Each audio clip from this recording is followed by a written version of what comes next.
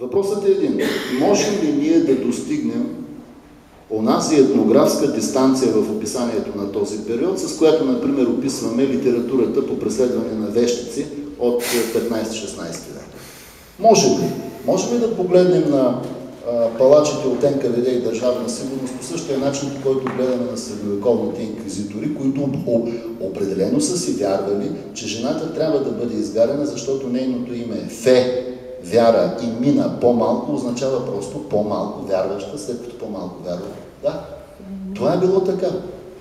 Следователно, аз мисля, че първо този сборник е все пак един много достоен отговор на нашата литературоведска общност, на потребностите от културното самопознание, което трябва да извърши тази равносметка с този период, който проявява действително изключителна жизненост в много сфери. От жалбите за изчезналата писателска грижа, държавна грижа за писателите, от постоянните вопли, че българска литература е, гине в пазара. Това са все акценти, които са неизвестни. Но все пак мисля, че ние трябва да се съсредоточим върху програма, която а, да обхване всички тези аспекти, защото и Едвин го каза много хубаво.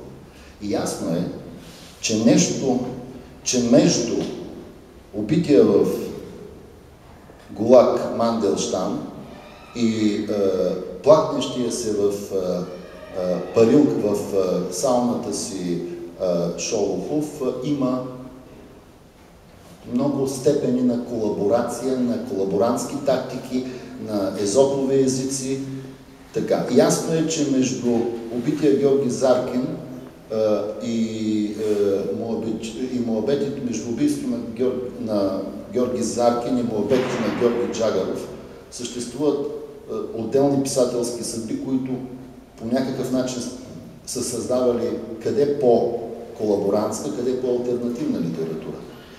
Ясно е, че нещо става след 56-та година и какво става точно с този период е особено интересно каква, какви са сферите на позволеното. Следователно, мисля, че имаме още работа и високото качество на и достойния граждански жест, който изпълнява нашия сборник, просто нека да ни послужат като мотив, като стимул и като ентусиазъм изследователски, хуманитаристски най-вече граждански, да продължим работата си и се надявам, че добрия дух на Вихрен, като е, безспорния е, вдъхновител на, на, на, на, на този кръг и на този сборник, ще продължи да ни води към е, добро, да му пожелаем и на него енергия в следващото начинание. Аз така просто се опитах да кажа това, което виждам като наша бъдеща работа, защото тя не предстои. И като европейци с много тежък исторически опит, и като български хуманитаристи, които трябва да оправдават във все по-трудни условия смисъла и достоинството на своето съществуване. Дано да бъдем достойни за това. Благодаря за нас.